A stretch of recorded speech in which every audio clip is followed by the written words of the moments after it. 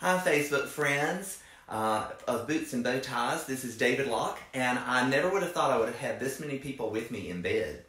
Um, I, I, know I don't know if you've ever heard that joke about uh, fortune cookies. Every time you get a fortune cookie, you're so supposed to read it with, um, you know, you will meet a stranger, and then you're supposed to read it with in bed, or uh, you will have luck this year, and you're supposed to say in bed. But anyway, I'm not in bed to talk to you about uh, fortune cookies. I'm in bed to talk to you about white linens and white towels. And I have so many friends that will say, well, why would you want all white towels or why would you want all white sheets? Well, my wife and I chose uh, to have white sheets and uh, white towels years ago.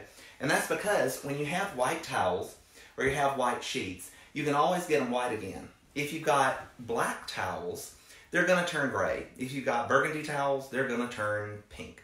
If you've got orange towels, they're going to turn tangerine. Um, sheets are a little different, but if you've always got white, you can always return them to their original color. Uh, you can use Clorox. How to wash my uh, sheets to keep them uh, looking nice is I wash them uh, on warm or hot, and I usually wash them with Woolite and with Clorox too. But if they're really stained, if they're getting yellow, if they're they're very old, uh, I'll put a little bit of Clorox into the water. My towels, um, and we have two boys, and uh, my son the other day, he ran outside, he played outside, he came in, he said, Dad, I love the Halloween towel, that's so cool. And I went in there and I looked at it, and he had wiped his muddy hands all over the towel. But it was white, so I was able to soak it, I was able to get that out. Um, also, you know, you can just always return to that same color. Um, they're relatively inexpensive. They always match. Uh, you don't have to worry about a color match. So uh, white is something we love in our house.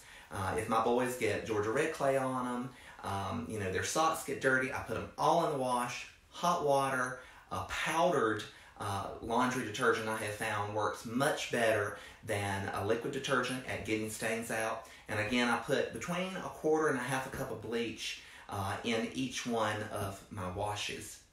Uh, this week on Boots and Bow Ties, if you haven't already subscribed, please do.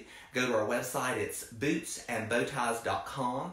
Of course, we're on Facebook, we're on Instagram, we're on Pinterest, uh, and I'm also on uh, Twitter. And one of the new things I'm doing, uh, because I love to paint watercolors, is I started creating a watercolor icon for every one of my blog posts. And over time, uh, the plan is, is to change the whole website so it has a look of being filled with watercolors.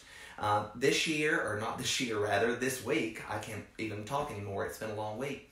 But uh, this week, we have a blog that came out on Tuesday that was about building a large floral chandelier for our local art center. Um, the blog that came out today, I had my first uh, vlog guest, my friend Eric Cheek, uh, who is a um, gifted trim contractor and um, a contractor builds houses. And he shows us how to, to make his amazing chicken wings. So take a look at that video.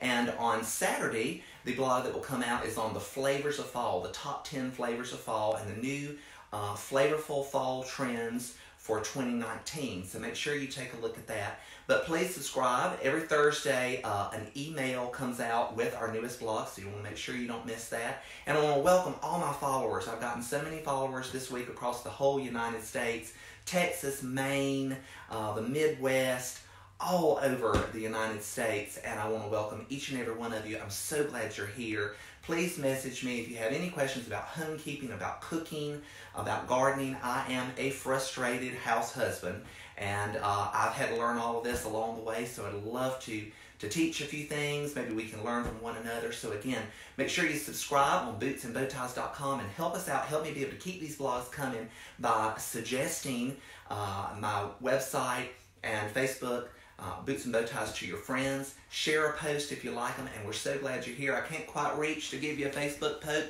but I hope you have a wonderful weekend.